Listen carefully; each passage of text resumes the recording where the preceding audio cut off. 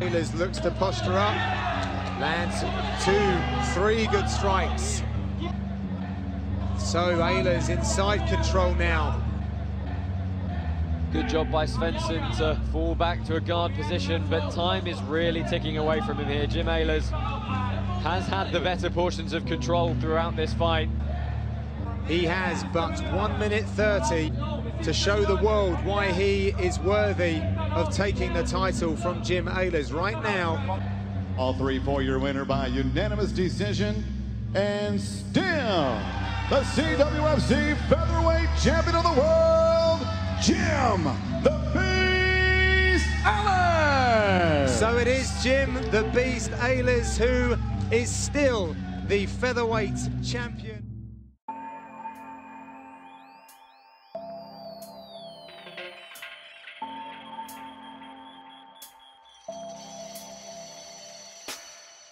Här nu i september så gick jag ju titelmatch på Cage Warriors. Och jag mötte eh, Jim Allers, riktigt tuff, bra kämp får jag ge honom. Matchen gick inte riktigt som jag ville. Hade det varit två ronder till så hade jag vunnit, men eh, tyvärr så tog tiden slut. Så han vann på eh, domslut. Men det var en bra match och det var tufft och det var, ja det var ball, det var kul.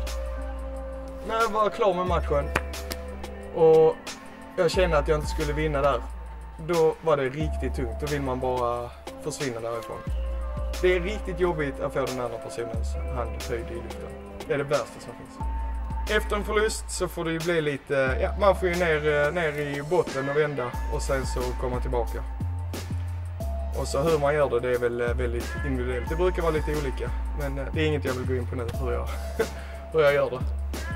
Bra, en bra sak det är att gå lite andra tävlingar som jag tävlade lite i thaiboxning, tävlat lite i grappling. Och då får, tänker man på annat och eh, motivationen kommer tillbaka och man börjar fokusera på rätt saker igen. Nej men eh, det jag tar med mig från matchen är att eh, våga släppa mitt stående lite mera och eh, det börjar komma. Jag tycker jag är ett steg närmare att eh, prestera så som jag vill göra. Det är det som är det viktigaste för mig, att kunna prestera till mitt max. Fokus har varit, jag vet ju, jag kände i matchen, jag tyckte att min grappling var minst lika bra som honom om inte bättre. Så att eh, jag bara fokuserar på stående, det är det enda vi gör. Jag tränar givetvis jujutsu och grappling också men fokus är på stående.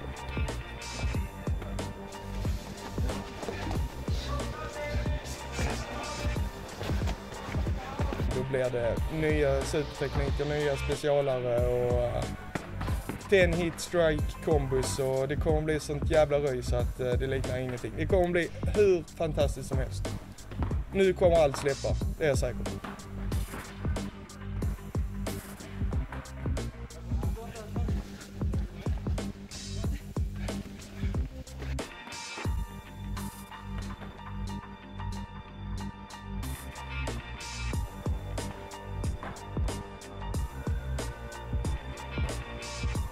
Ja, jag är bättre än någonsin och jag blir bara bättre för varje dag som går. Så att eh, jag kommer komma tillbaka, jag ska ha det här jävla Cage Warriors-bältet. Jag ska kalla mig själv världsmästare och Jim Allers, vi är inte klara. Vi ska ha minst fem ronder till.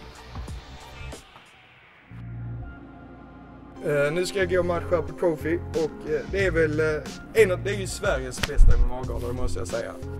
Och jag känner nu ska jag verkligen se till att prestera och känna att allting sitter på plats.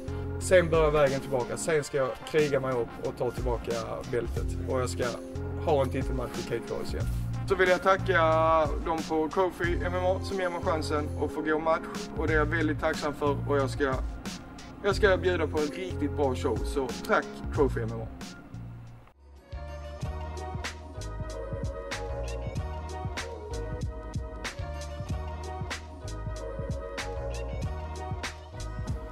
Guten Tag, ähm, wie geht's? Så, nu så har jag då studerat min motståndare, Tobias Huber, som jag ska möta här i ehm, eh, på Trophy den 28 december. Och eh, Tobias då, eller Tobias, ja, jag vet inte hur man ska uttala det, Huber, han är då tyskbrasse, så jag har klätt mig lite brasiliansk-tysk. Så jag har då shortsen, eh, tofflor med strumpor inne som är riktigt tysk. Jag har förstått att de eh, gillar. Så nu har jag då studerat eh, Uber så att, eh, och vi ska laga lite klassisk tysk mat. Så givetvis så blir det korv. Det gillar vi ska Så, så eh, tysk mat kommer jag bjuda på. Vad äter tyskar? Jo, givetvis äter de bratwurst. Och så äter de ju sauerkraut, lite tysk surkål. Det är fucking nice, det gillar jag också. att eh, uh, jag äter ändå. Och sen så vill de ha lite stekt potatis som står. Så vi får ju se det är någon power i den här maten och se om den ska vara det. Surkålen vet jag, den kommer inte bli så. Den är ju bra. Men det käkar jag också så den är ju rätt. Och potatis det är ju schysst. Men i korven är jag lite tveksam till. Men vi får se. Vi får se. Ganska enkelt eh, recept. Idag så blir det inte så komplicerat. Så jag kommer steka korven i lite olja. Sen kommer jag steka potatisen i lite olja. Och sen så är det klart. Så bara en stor klick surkål på det så, eh, så är vi klara. Så vad jag har förstått om Tobias när jag har studerat honom det är ju också att han är en duktig grappler. Så att, eh, och jag gillar ju grappler också så att det kommer ju bli bra. Men eh, det ger mig ett tillfälle också att få visa att jag har jobbat hårt på mitt stående och jag ska verkligen försöka släppa loss mitt stående igen. Kommer bli tuff motståndare. Just kombinationen brasse och, och eh, tysk, jag tror att det är, det är farligt. Tysk ingenjörskonsten och den eh, rytmen i, eh, i brasilianska, det kan bli, det kan bli lite klurigt. Så nu när jag ska möta Tobias så blir det ju liksom hemma. Det blev ju verkligen, verkligen hemma hos mig sist och cyklade till matchen. Det var rätt schysst. Och det är så jävla kul att få representera Malmö, fightas hemma inför publik. Så det är ju liksom alla ens nära vänner, familjen, alltihopa. Så det är fruktansvärt kul. Och jag börjar bli hur bekväm som helst med det. Förr var det lite jobbigt så här att folk kanske ja, att det var många som man kände som tittade. Men nu så, jag gillar att stå på scenen och jag gillar att vara i centrum så att eh, det blir bara mer och mer kul. Så desto mer jag får fightas hemma, desto bättre blir det och desto bättre show ska jag bjuda.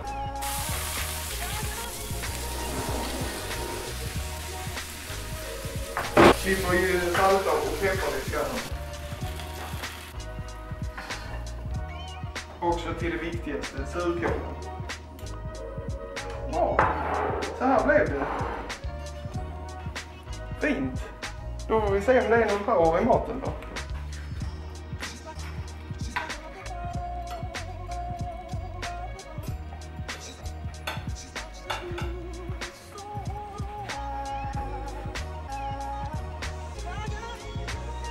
Ja, det smakar bra.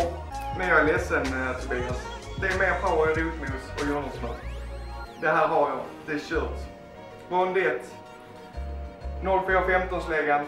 KO. Det är klart. Boom! Så vill jag tacka Bobby, Fredrik, mina tränare här på Frontier MMA och alla mina träningskamrater som står ut med mig när jag förlorar för jag vet jag blir jävligt jobbig och grinig och sur och tar ut det på dem. Men eh, så jag vill tacka dem att de eh, pallar med mig helt enkelt och hjälper mig att bli bättre för varje dag. Sen så vill jag hälsa till eh, alla fjäderviktarna i Cage Warriors att jag kommer ta det här bältet i Cage Warriors. Jag kommer bli världsmästare. Så att det är bara, det är bara att vänta och se grabbar. Jag kommer.